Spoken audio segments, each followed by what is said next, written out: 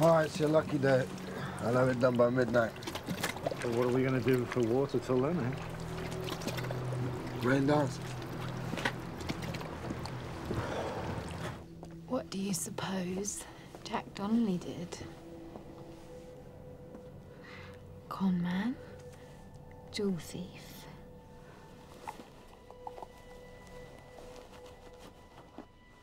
Gigolo?